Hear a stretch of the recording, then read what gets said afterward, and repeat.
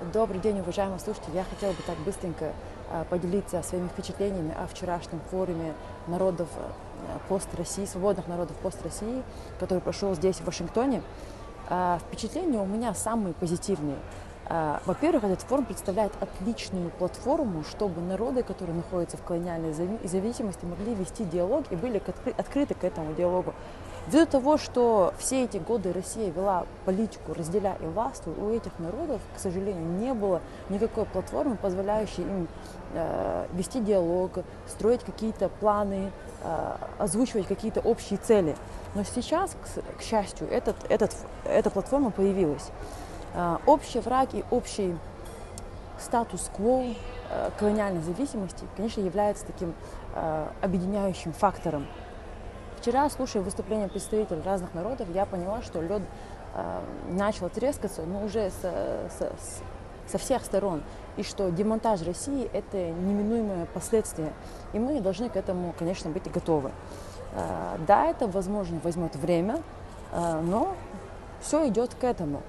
Далее меня впечатлило заявление представителя Республики Саха э, в русской терминологии Якутия. И их сторона четко прямо сказали, что мы готовы к независимости и нам нужно, и нам нужно оружие, то есть нам нужна военная поддержка. И, и я действительно этому удивилась и, ну, если честно, была рада. А, Далее я вни- внимательно слушала американских экспертов. Американцы открыто говорят, что несмотря на то, что им а, не выгоден распад России, но тем не менее они рассматривают этот, эту концовку и что они открыты к этой концовке, да, потому что план распада России есть эм, в их в ихнем видении.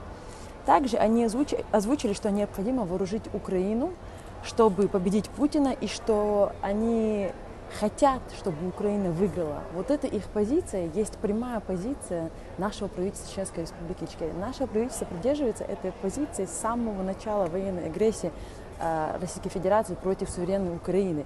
И премьер-министр Чеченской Республики Ичкерия Ахмед Закаев уже неоднократно заявлял, насколько это важно, необходимо поддерживать Украину во всех отношениях, особенно в военном плане.